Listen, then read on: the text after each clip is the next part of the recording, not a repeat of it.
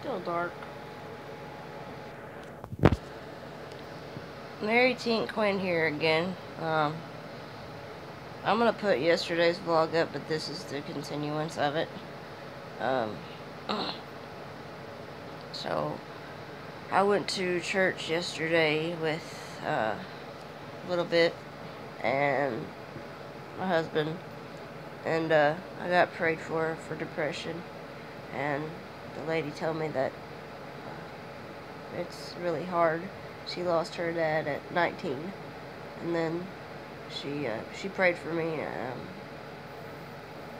and then she gave me a hug, and then one of my very good friends that goes to church that that works for the church or with it, um, she said uh, she lost her mom and her dad and she still hasn't got over it. So obviously I'm not going to be getting over this.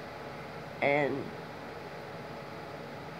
I'm just going to keep being depressed. But the good thing is that I get to go to therapy sessions or whatever to get it all out. I keep crying over it.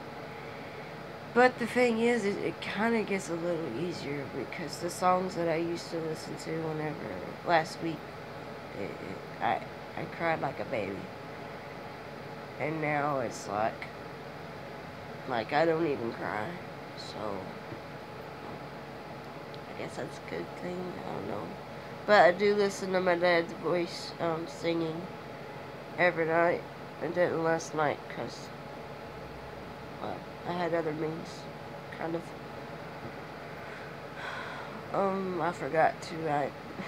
Were exercising last night with Jillian Michaels' um, 2009 edition. And I was like really, really, really tired, so I just fell asleep. Um, so today I'm going to do laundry with our pastor, pastor lady. Um, and she feeds us pizza, which is not the healthiest thing in the world, but whatever, is food. Um, and then I'm going to go later on, I'm going to go grocery shopping a little bit uh, in Kroger's. But, um, I don't think that it's going to be easy for me to uh, do a day-by-day -day thing. Like my friend told me last night I'd have to do it day by day, and it doesn't get any easier. I uh, still miss him a lot. Even with all the pictures I have, I just, I can't.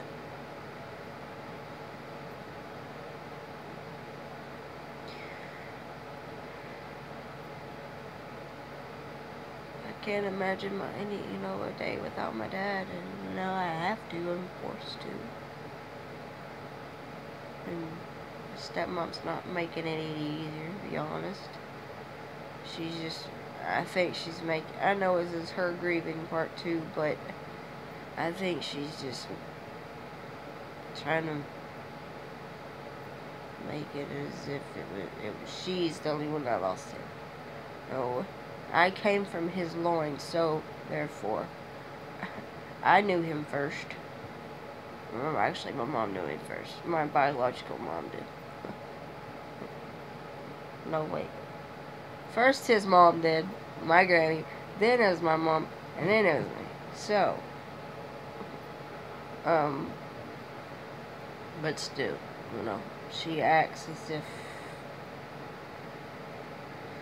she's the only one that missed, you know, that, that lost my dad, which is not true, so, know, my stepsister they're steps, so they're not really related, but my sister made a pact with, or promise with my dad that after he dies, they would still be a part of our family. She wouldn't have done that, but whatever.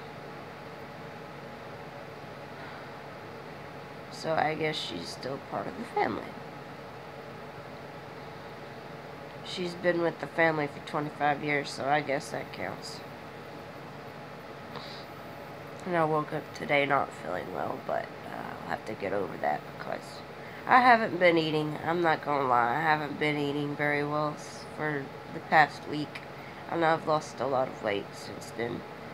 I've just been drinking Gatorade and water and whatever I can find that's drinkable because I honestly don't want to eat, but I've ate here and there, but not not nearly as much as I have before my dad died. That's just part of the depression. My sister um, and my son and I talk um, over this app called Zello. It's a really good app. It uh, it's pretty much a walkie-talkie.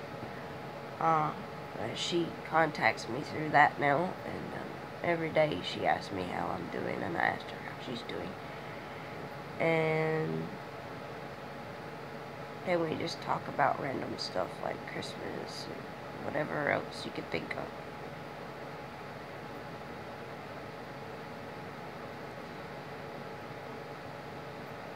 So, okay, this is the second video. Um, if you like to subscribe to my channel, uh, please. And, um, I should be doing another one here in a couple of days. I just haven't been getting around to it because I've been trying to keep my mind off my dad's death. I've been cleaning and just getting Facebooking and doing my regular stuff that I that I do on an everyday basis. Just trying to not think about it. So, anyways, um, I'm gonna hop off here and wait on Miss Lisa to get here. Alright, I'll talk to you guys later. Bye.